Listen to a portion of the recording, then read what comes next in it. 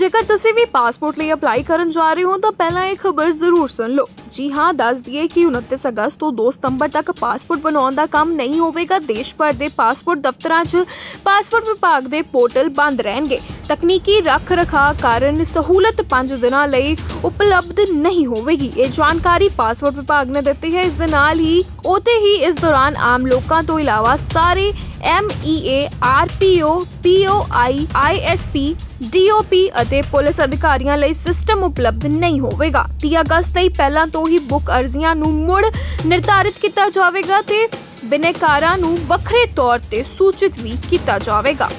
ਜੇਕਰ ਤੁਸੀਂ ਵੀ ਪਾਸਪੋਰਟ ਲਈ ਅਪਲਾਈ ਕਰਨ ਜਾ ਰਹੇ ਹੋ, ਤਾਂ ਪਹਿਲਾਂ ਇਹ ਖਬਰ ਜ਼ਰੂਰ ਸੁਣ ਲਓ। ਜੀ ਹਾਂ, ਦੱਸ ਦਈਏ ਕਿ 29 ਅਗਸਤ ਤੋਂ 2 ਸਤੰਬਰ ਤੱਕ ਪਾਸਪੋਰਟ ਬਣਾਉਣ ਦਾ ਕੰਮ ਨਹੀਂ ਹੋਵੇਗਾ। ਦੇਸ਼ ਭਰ ਦੇ ਪਾਸਪੋਰਟ ਦਫ਼ਤਰਾਂ 'ਚ ਪਾਸਪੋਰਟ ਵਿਭਾਗ ਦੇ ਪੋਰਟਲ ਬੰਦ ਰਹਿਣਗੇ। ਤਕਨੀਕੀ ਰੱਖ ਰਖਾਅ ਕਾਰਨ ਸਹੂਲਤ 5 ਦਿਨਾਂ ਲਈ ਉਪਲਬਧ ਨਹੀਂ ਹੋਵੇਗੀ। ਇਹ ਜਾਣਕਾਰੀ ਪਾਸਪੋਰਟ ਵਿਭਾਗ ਨੇ ਦਿੱਤੀ ਹੈ। ਇਸ ਦੇ ਨਾਲ ਹੀ ਉਤੇ ਹੀ ਇਸ ਦੌਰਾਨ ਆਮ ਲੋਕਾਂ ਤੋਂ ਇਲਾਵਾ ਸਾਰੇ MEA RPO POI ISP DOP ਅਤੇ ਪੁਲਿਸ ਅਧਿਕਾਰੀਆਂ ਲਈ ਸਿਸਟਮ ਉਪਲਬਧ ਨਹੀਂ ਹੋਵੇਗਾ। 30 ਅਗਸਤ ਲਈ ਪਹਿਲਾਂ ਤੋਂ ਹੀ ਬੁੱਕ ਅਰਜ਼ੀਆਂ ਨੂੰ ਮੁੜ ਨਿਰਧਾਰਿਤ ਕੀਤਾ ਜਾਵੇਗਾ ਤੇ ਬਿਨੇਕਾਰਾਂ ਨੂੰ ਵੱਖਰੇ ਤੌਰ ਤੇ ਸੂਚਿਤ ਵੀ ਕੀਤਾ ਜਾਵੇਗਾ।